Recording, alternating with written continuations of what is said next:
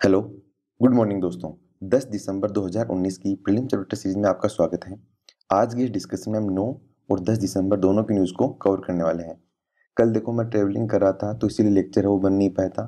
तो आज हम कल की न्यूज़ को भी कवर है, वो करने वाले हैं। आज देखो नोट पैड नहीं है तो पेन का हम राइटिंग वगैरह को कमी करेंगे यहाँ पे केवल स्लाइड्स के थ्रू समझने की कोशिश करेंगे। सबसे पहले जो आर्टिकल है आज, वो है प्रधानमंत्री किसान सम्मान निधि स्कीम के बारे में, यानी कि पीएम किसान योजना। देखो न्यूज़ ये आई है कि उड़ीसा गवर्नमेंट ने एक स्कीम चला रखी थी, जिसका नाम था कालिया। कालिया का फुल फॉर्म ये था, Krushak assistant for livelihood and income augmentation. तो ये जो कालिया स्कीम थी ना उड़ीसा गवर्नमेंट की, इस स्कीम को, ये सेंट्रल गवर्नमेंट की एक स्कीम थी पीएम किसान। इसमें मर्ज करने की बात है, वो चल रही है कि भाई दोनों स्कीम को वो आपस में मर्ज करके चलाया हो जाएगा। तो पहले तो हम जो उड़ीसा गवर्नमेंट की कालिया स्कीम थी, यानी कि Krushak assistant for livelihood and income augmentation scheme के बारे में। देखो, इस स्कीम में ये प्रावधान किया गया था कि उड़ीसा में जितने भी फार्मर्स हैं ना, हर फार्मर को साल में दस हज़ार रुपये दिए जाएँगे। एक सीज़न के लिए दिए जाएँगे पाँच हज़ार रुपये और एक सीज़न के लिए पाँच हज़ार मतलब साल में दो बार उसको पाँच पाँच हज़ार रुपये वो पे किए जाएँगे ताकि वो अपनी खेती के लिए जो भी ज़रूरी खाद, बीज वगैरह इक्विपमेंट वगैरह है, वो अरेंज कर सकें। ये इसलिए स्कीम स्टार्ट की गई थी ताकि किसानों को जो लगातार लॉस होता जा रहा है एग्रीकल्चर सेक्टर में, उसको या स्ट्रेस को दूर है वो किया जा सके। खरीफ की फ़सल में पाँच हज़ार रुपये दिए जाएँगे और रबी की फ़सल में पाँच हज़ार रुपये दिए जाएँगे। इसमें यह प्रावधान नहीं किया गया कि भैया आपके पास ज़मीन है, वो ऐसी होनी चाहिए, कुछ इतनी ज़्यादा टर्म्स कंडीशन नहीं रखी गई हैं। अभी तो इस स्कीम को बस पाँच साल के लिए आगे इम्प्लीमेंट करने की बात है, वो की जा रही है। देखो, इससे स्कीम से उड़ीसा में लगभग दस लाख ऐसे किसान हैं, ज़रूरतमंद, जिनको इस स्कीम का बेनिफिट है, वो मिलने वाला है। और इस स्कीम का, यानी कि जो कालिया स्कीम है इसका मेन फोकस रहेगा एससी और एसटी जो फैमिलीज़ हैं, उनके ऊपर ज़्यादा फोकस है, वो रहेगा। ध्यान रखना ओनली और एससी और एसटी की बात नहीं की जा रही है मतलब मेनली जो फोकस है, वो रहेगा एस सी एंड एस जो पिछड़ा हुआ वर्ग है, उनके ऊपर। इसी के साथ उनको बारह हज़ार पाँच सौ रुपये की यूनिट कॉस्ट है, वो भी प्रोवाइड करवाई जाएगी जैसे कि वो बकरी पालन कर रहे हो, या फिर मशरूम कल्टीवेशन कर रहे हो, या फिर मधुमक्खी पालन हुआ, या फिर पोल्ट्री फार्म हो, या फिशरी हो, इस सेक्टर के लिए उनको बारह हज़ार पाँच सौ रुपये की एक्स्ट्रा हेल्प है वो प्रोवाइड करवाई जाएगी। इंपॉर्टेंट चीज़ ये ध्यान रखना कि डेयरी प्रोडक्शन को इस स्कीम से अलग है, वो रखा गया है। यानी कि काले स्कीम में डेयरी जो प्रोडक्शन है, आप बोल सकते हो कि डेयरी जो दूध बिज़नेस है, इसको शामिल नहीं किया गया है। इसी के साथ किसानों को पचास हज़ार तक का बिना ब्याज की लोन है, वो प्रोवाइड करने की बात है, वो की गई है। और लगभग इंश्योरेंस है, वो भी दी जाएगी किसानों को दो लाख तक की। तो इसमें कुछ ऐसे पॉइंट्स है, वो प्रावधान किए गए हैं।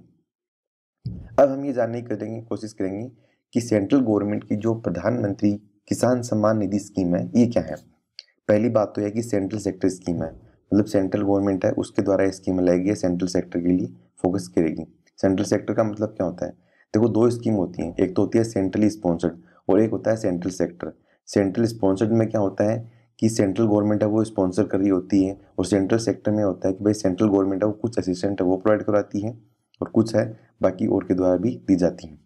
देखो, इसमें ये ध्यान रखना आप कि ये जो स्कीम है ना, प्रधानमंत्री किसान सम्मान निधि, इस स्कीम में किसानों को छः हज़ार रुपये ईयरली दिए जाएँगे, ठीक है? अब छः हज़ार रुपये कैसे दिए जाएँगे? दो दो हज़ार की फॉर्म में, यानी कि साल में तीन बार है वो दो दो हज़ार रुपये की फॉर्म में टोटल छः हज़ार रुपये दिए जाएँगे। कंडीशन इसके लिए है कि वो किसान जिनके पास ज़मीन है वो दो हेक्टेयर से कम है मतलब ऐसे किसान जिनके पास दो हेक्टेयर से कम ज़मीन है, उन्हीं किसानों को साल में तीन बार है वो दो दो हज़ार रुपये है वो दिए जाएँगे इंस्टॉलमेंट में। ताकि वो अपनी ज़रूरतमंद की चीज़ें हैं, फ़सल वगैरह के लिए, वो इकट्ठा है, वो कर सकें और अच्छी एग्रीकल्चर पे फोकस कर सकें। और इसमें कुछ लोन वगैरह के लिए भी बातें हैं वो की गई हैं। तो मेनली जो फोकस इसमें ध्यान रखना कि जो फाइनेंशियल असिस्टेंट है, यानी कि जो पैसे का सपोर्ट दिया जा रहा है, वो दिया रहा है छः हज़ार रुपये साल में, तीन बार दिया जाएगा दो दो हज़ार की फॉर्म में। अब देखते हैं नेक्स्ट आर्टिकल देखो नेक्स्ट जो आर्टिकल है, वो है end on generation sorry end on generation technology के बारे में। तो हम जानने की कोशिश करते हैं कि क्या है end on generation technology UPSC पूछ सकती है इसको किस से रिलेटेड वगैरह, ये है। देखो, आपने कोई भी, कई बार देखा होगा कि ट्रेन के आगे और पीछे की साइड है ना, दो जनरेटर यहाँ लगे हुए होते हैं। उस टेक्नोलॉजी को कहा जाता है एंड ओन जनरेशन टेक्नोलॉजी यानी कि ट्रेन है, उसके आगे और पीछे दो जनरेटर कार लगे हुए हैं। उन जनरेटर कार की हेल्प से ट्रेन के अंदर जो इलेक्ट्रिसिटी की सप्लाई है, वो की जाती है। तो इस मेथड को कहते हैं एंड ओन जनरेशन टेक्नोलॉजी यानी कि एंड में जनरेटर लगे हुए हैं, इनसे इलेक्ट्रिसिटी जनरेट की जाती है। और फिर ट्रेन के अंदर जो एसी कोच या स्लीपर कोच में जो इलेक्ट्रिसिटी है, वो उसकी सब लिए सप्लाई है, वो की जाती है। इसको कहते, अब देखो इसके कुछ नुकसान भी होते हैं इस टेक्नोलॉजी के। क्या होते हैं? एक तो ये कि अलग से दो कोच लगाने पड़ते हैं। फालतू में आप ये बोल सकते हो कि एक्स्ट्रा है, वो डीजल का खर्चा होता है और कॉस्ट है जो भी ट्रेन की वो बढ़ जाती है तो ऐसे कुछ खर्चे बढ़ जाते हैं। तो अभी गवर्नमेंट ये प्लान कर रही है कि भाई जो एंड ऑन जनरेशन टेक्नोलॉजी है ना, इसको शिफ्ट किया जाएगा हेड ऑन जनरेशन टेक्नोलॉजी में। हेड ऑन जनरेशन टेक्नोलॉजी क्या है? देखो, आपको पता है कि जो इलेक्ट्रिक ट्रेन होती हैं, उनके ऊपर एक इलेक्ट्रिक लाइन है, वो जल्दी लगी हुई होती है और उससे उनमें इलेक्ट्रिसिटी है, वो प्रोवाइड करवाई जाती है। तो हेड ऑन जनरेशन में क्या होगा कि जो ऊपर जो लाइट जिससे ट्रेन चल रही है ना, उसी लाइट का यूज़ करते हुए ट्रेन के अंदर जो बाकी हिस्सों में कंपार्टमेंट में एसी कोच वगैरह है, वहाँ पे इलेक्ट्रिसिटी की सप्लाई है, वो की जाएगी। देखो मेनली जो ट्रेन के अंदर इलेक्ट्रिसिटी की सप्लाई होती है, ऊपर जो वायर लगा होता है सिंगल वायर सा, उसी सप्लाई होती है nine forty five kilowatt के बारे में। तो इस इलेक्ट्रिसिटी को कन्वर्ट किया जाएगा 750 वोल्टेज के ऊपर और फिर इसको जो जनरेटर यान है, उनको हटा के और नॉर्मल कोचेज में सप्लाई है वो की जाएगी। तो बस ये छोटी सी न्यूज़ आप ये ध्यान रखना कि ये रेलवे से संबंधित है कि भाई रेलवे के अंदर जो कॉस्ट वगैरह है, इसको कम किया जा सके। अब देखो, इसका फ़ायदा क्या होगा? एक तो अगर हम हेड ऑन जनरेशन टेक्नोलॉजी का यूज़ करेंगे तो हमें फालतू में आगे और पीछे दो इंजन कार या सॉरी जो जनरेटर कार है, वो नहीं लगानी होंगी। तो मतलब दो जनरेटर का खर्चा भी बचेगा इसकी जगह हम अलग से कोच लगा सकते हैं ताकि ज़्यादा यात्री ट्रेन में ट्रेवल कर सकते हैं। दूसरा बेनिफिट ये होगा कि अगर डीजल इंजन कम चलेंगे तो ओबियसली आपको दिख रहा है कि इससे जो पोल्यूशन है वो कम होगा। तो कार्बन जो हमारा आप हो कार्बन एमिशन है, वो भी काफ़ी कम होगा। तो क्लाइमेट चेंज में भी इसका काफ़ी बड़ा रोल है बेनिफिट है वो देखने को हमें यहाँ पे मिलेगा। तो अभी गवर्नमेंट है वो हेड ऑन जनरेशन टेक्नोलॉजी पर लगातार फोकस कर रही है और लगातार ट्रेनों में इस सिस्टम को मतलब चेंज है, इस टेक्नोलॉजी को वो किया जा रहा है। तो ध्यान रखना एंड ओन जनरेशन टेक्नोलॉजी क्या है और हेड ओन जनरेशन टेक्नोलॉजी क्या है। नेक्स्ट जो आर्टिकल है वो हमारा वो है न्यूट्रिनो ऑब्जर्वेटरी प्रोजेक्ट के बारे में। देखो, पहले तो ये देखते हैं कि न्यूट्रिनो ऑब्जर्वेटरी जो प्रोजेक्ट है वो कहाँ पे लगाया जा रहा है। तमिलनाडु में देखो, एक थेनी डिस्ट्रिक्ट है, वहाँ पे इस प्रोजेक्ट को है वो लगाया जा रहा है। तो ये ध्यान रखना, आता कहाँ पे हिस्सा? ये पहले नीलगिरी बायोस्फीयर रिज़र्व के हिस्से में आता है। और थेनी डिस्ट्रिक्ट है, वो आपको बता दूँ कि एक साइड तो तमिलनाडु है और एक साइड है केरला, इनके बॉर्डर पे है वैसे। आता तमिलनाडु के हिस्से में थेनी डिस्ट्रिक्ट, बट मतलब किनारे पे है। इसके जस्ट साइड में बॉर्डर है, वो स्टार्ट हो जाता है केरला का। तो वहाँ पे न्यूट्रिनो की स्टडी करने के लिए प्रोजेक्ट है, वो लगाया जा रहा है तो उसी को लेकर न्यूज़ आई है। तो एक तो यूपीएससी ये पूछ सकती है कि न्यूट्रिनो ऑब्जर्वेटरी प्रोजेक्ट है, वो इंडिया में कहाँ लगाया जा रहा है? तो तमिलनाडु के थेनी डिस्ट्रिक्ट में इस प्रोजेक्ट को लगाने की बात है, वो की जा रही है। दूसरा क्वेश्चन यूपीएससी ऐसे ही पूछ सकती है कि क्या इंडिया पहली ऐसी कंट्री है जो ऐसे प्रोजेक्ट को लगा रही है न्यूट्रॉन ऑब्जर्वेटरी के लिए? जी, ऐसा बिल्कुल नहीं है। इंडिया से पहले काफ़ी सारी कंट्रीज़ हैं, उन्होंने भी ऐसे प्रोजेक्ट हैं, वो लगा रखे हैं, जैसे कि कनाडा ने लगा रखा है, जापान ने लगा रखा है, इटली ने लगा रखा है, और भी काफ़ी सारी कंट्रीज़ हैं जिन्होंने इस तरह के प्रोजेक्ट लगा रखे हैं। तो न्यूट्रिनो होता क्या है? देखो, जिस तरीके से एटम होता है, हम एटम के बारे में जानते हैं तो उसी तरीके से होता है न्यूट्रिनो न्यूट्रलो न्यूट्रल होता है मतलब इसमें कोई चार्ज नहीं होता पॉजिटिव नेगेटिव न्यूट्रल होता है, और इससे ब्रह्मांड की खोज है, इसके बारे में पता चलेगा कि ब्रह्मांड कब जनरेट हुआ था, हमारा साइकिल मतलब आप बोल सकते हो कि जीवन काल कैसे स्टार्ट हुआ। काफ़ी सारी ऐसे रहस्य हैं, उनकी स्टडी की जा सकती हैं। तो इसलिए न्यूट्रिनो की स्टडी है, वो की जाती है। ऐसा कहा जाता है कि न्यूट्रिनो है, वो सबसे छोटा एक पार्टिकल है, जो कि यूनिवर्स में विद्यमान है। नहीं जिस तरीके से हमने सुना था बचपन में कि भाई एटम या परमाणु है, वो सबसे छोटी इकाई होती है, उसी तरीके से न्यूट्रिनो है, वो सबसे छोटी इकाई होती है यूनिवर्स के। में तो ये दो चार फैक्ट आप ध्यान में रखना न्यूट्रल होता है इस पर कोई भी आवेश है, वो नहीं होता है। तो तमिलनाडु में जो थेनी डिस्ट्रिक्ट है, वहाँ पे बोधी हिल्स है। तो बोधी हिल्स में क्या है कि वहाँ पे दो किलोमीटर लंबी सुरंग है, वो बनाई जा रही है और उसके अंदर इस ऑब्जेक्टिव इस प्रोजेक्ट को लगाया वो जा रहा है। काम क्या है, टारगेट इसका यही है कि भाई जो न्यूट्रिनो है, उनकी स्टडी की जाएगी। क्योंकि देखो न्यूट्रिनो है ना, वो काफ़ी पीस एरिया में आप बोल सकते हो कि शांतिपूर्वक एरिया में इनकी स्टडी है, वो हो सकती है। तो इसको लेके पहले कॉन्ट्रावर्सी भी छिड़ी थी कि भाई जो बायोडाइवर्सिटी है इस एरिए में नीलगिरी हिल्स वाले में तो काफ़ी नुकसान हो जाएगा, ऐसे प्रोजेक्ट वगैरह आप मत लगाओ। बट बाद में सुप्रीम कोर्ट ने, एनजीटी ने क्लियरेंस दे दिया था कि भाई इससे कोई नुकसान है, वो नहीं होने वाला है। तो अभी उसी को लेकर न्यूज़ यहाँ पे आई है। जगह, गाँव का नाम भी दे रखा देखो यहाँ पे, पोटीपुरम विलेज है, तमिलनाडु के थेनी डिस्ट्रिक्ट में, जो कि केरला और तमिलनाडु के बॉर्डर पे के जस्ट पास में है, बट हिस्सा आता है तमिलनाडु वाले एरिया में। अब हम कुछ और फैक्ट जानने की कोशिश करते हैं।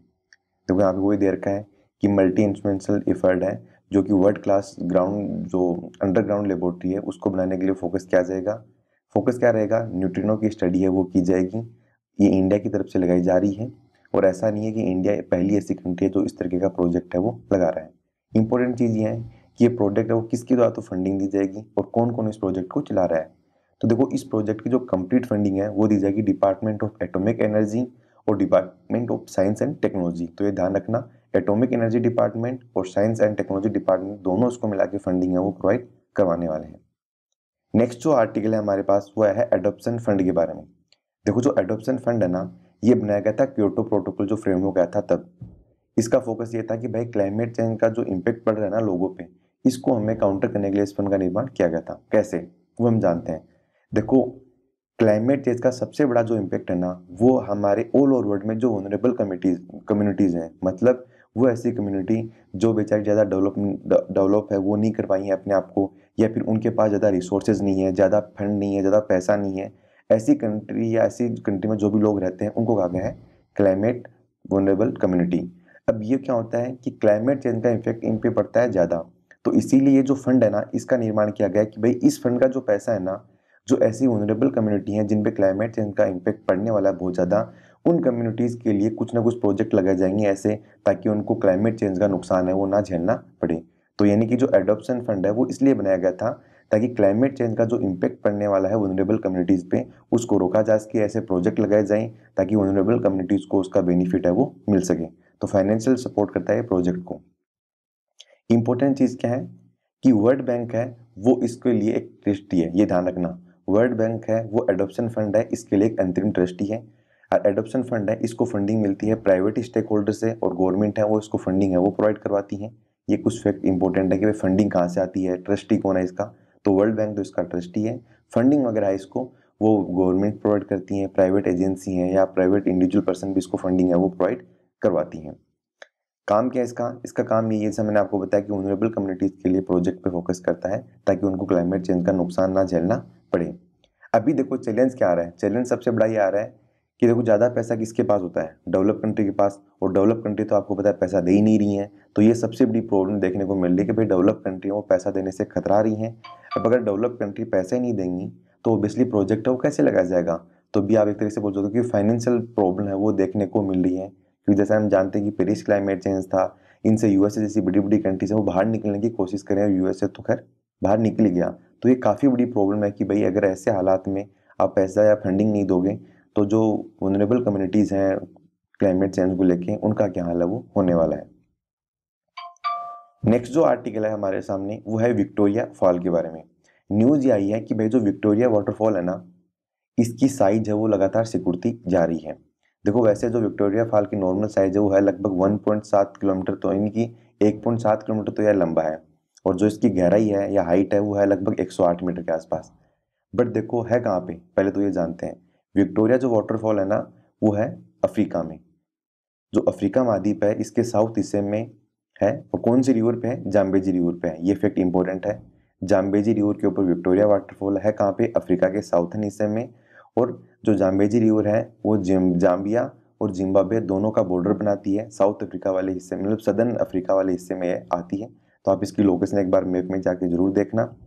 और जो विक्टोरिया वाटरफॉल है इसको यूनेस्को के वर्ल्ड हेरिटेज साइट में भी इंक्लूड है, वो किया गया है, क्योंकि काफ़ी लंबा ये वाटरफॉल है, वो है।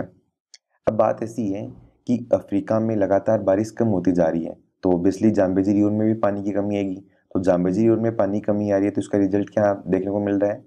कि जो इस विक्टोरिया वाटरफॉल की लंबाई थी ना, या बोल सकते हो वीट थी, एक सौ पॉइंट सेवन किलोमीटर लंबी, वो उसकी साइज़ लगातार श्रिंक होती जा रही है मतलब इसकी साइज़ कम होती जा रही है।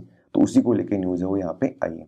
तो हमें पता होना चाहिए विक्टोरिया वाटरफॉल कहाँ पे है, लोकेशन कहाँ पे है कौन सी रिवर पे है कौन कौन सी रिवर के बॉर्डर बनाती हैं वगैरह वगैरह, ऐसी सारी इन्फॉर्मेशन क्लियर रखनी है।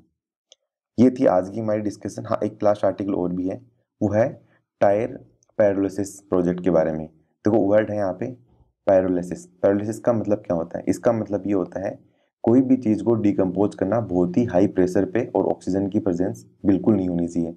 मतलब बिना ऑक्सीजन की प्रेजेंस में हाई टेम्परेचर पे किसी चीज़ को डिकम्पोज करना, तोड़ना या ख़त्म करने को कहते हैं पैरोलिसिस देखो न्यूज़ ये आई है कि महाराष्ट्र का जो पोल्यूशन कंट्रोल बोर्ड है ना, उसने अभी कुछ गाइडलाइन जारी की हैं कि भाई जो टायरों को आप जलाने या टायरों को जो पैरालिसिस करने की जो तरीके है, इसको आप एक्सेप्ट कर सकते हो, कुछ गाइडलाइंस वगैरह जारी की गई हैं।